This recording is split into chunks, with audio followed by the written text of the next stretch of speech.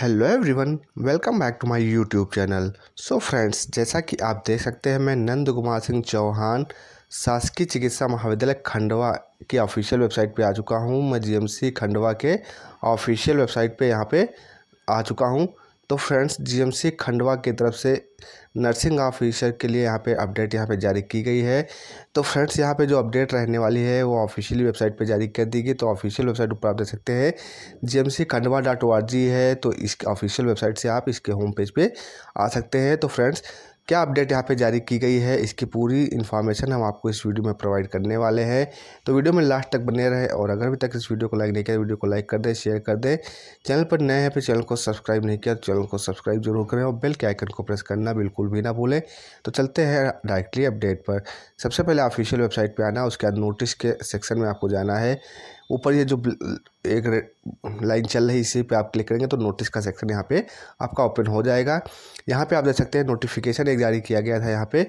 दस दस दो हज़ार चौबीस को एक नोटिफिकेशन यहाँ पे जारी किया गया है। तो दस तारीख, दस अक्टूबर का ये नोटिफिकेशन यहाँ पे रहने वाला है। Notice for senior nursing officers के लिए जो है अपडेट यहाँ पे रहने वाला है। तो सीनियर नर्सिंग ऑफिसर के लिए यहाँ पे अपडेट जारी किया गया तो इसको यहाँ से हम ओपन कर लेते हैं।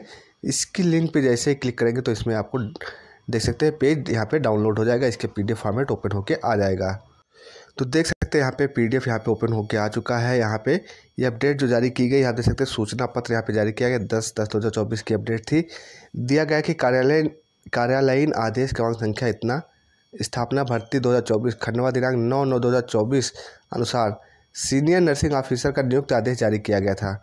तो 9 नौ दो हज़ार चौबीस यानी कि 9 सितंबर को यहाँ पे जो है, नियुक्ति आदेश जारी किए गए थे सीनियर नर्सिंग ऑफिसर के, जिसमें अभ्यर्थियों को एक माह में अर्थात अंतिम दिनांक आठ दस दो हज़ार चौबीस तक महाविद्यालय में ज्वाइन करना था।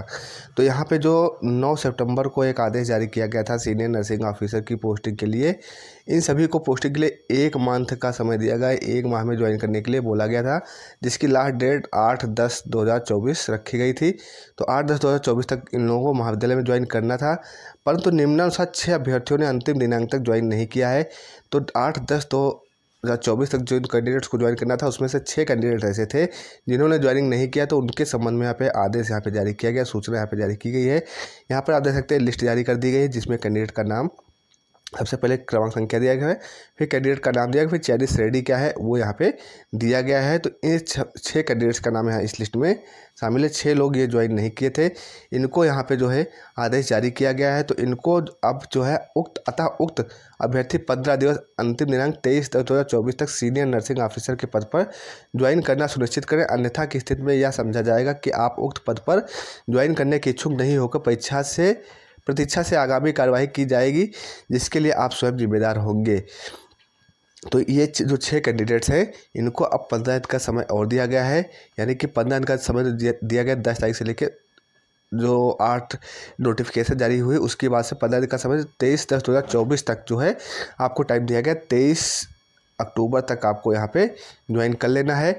अगर आप तेईस अक्टूबर तक भी यहाँ पे ज्वाइन नहीं करते हैं तो ये समझा जाएगा कि आप जो है ज्वाइनिंग करने के इच्छुक नहीं हैं और फिर उसी के अनुसार आपके साथ आगे की प्रक्रिया या आगे की कार्यवाही की जाएगी। आपका नियुक्ति आदेश भी निरस्त किया जा सकता है। तो ये पूरी अपडेट यहाँ पे दी गई है। तो जो भी कैंडिडेट्स इस लिस्ट में शामिल है छः कैंडिडेट्स अपना नाम इसमें देख लें। और अगर उनको ज्वाइन करना है तो तेईस अक्टूबर तक अपनी ज्वाइनिंग जाकर महाविद्यालय में ज़रूर करा लें। अगर नहीं ज्वाइन करेंगे तो आपका नियुक्त आदेश निरस्त हो जाएगा। तो फ्रेंड्स, ये अपडेट मैंने आपके साथ यहाँ पे शेयर कर दी है। ये अपडेट आपके लिए इन्फॉर्मेटिव रहेगी। तो मिलते हैं फ्रेंड्स नेक्स्ट वीडियो में नेक्स्ट अपडेट के साथ। तब तक के लिए जय हिंद, जय भारत।